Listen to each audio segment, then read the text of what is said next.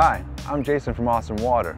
If you need to replace the nozzles on your sprinkler system, there are a few things you should know. On top of each nozzle, there's a number. This one says 12, which tells me it will spray a distance of 12 feet.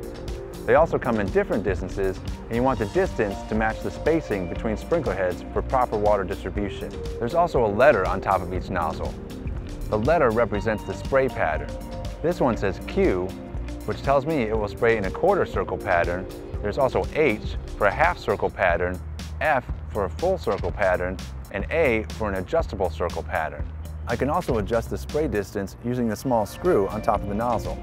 I can turn the screw clockwise to decrease the spray distance and counterclockwise to increase the spray distance. Having head-to-head -head coverage will make your irrigation more effective, allow you to water less, and save you money. For more water conservation tips, check out the videos on our website. I'm Jason from Austin Water. Thanks for watching.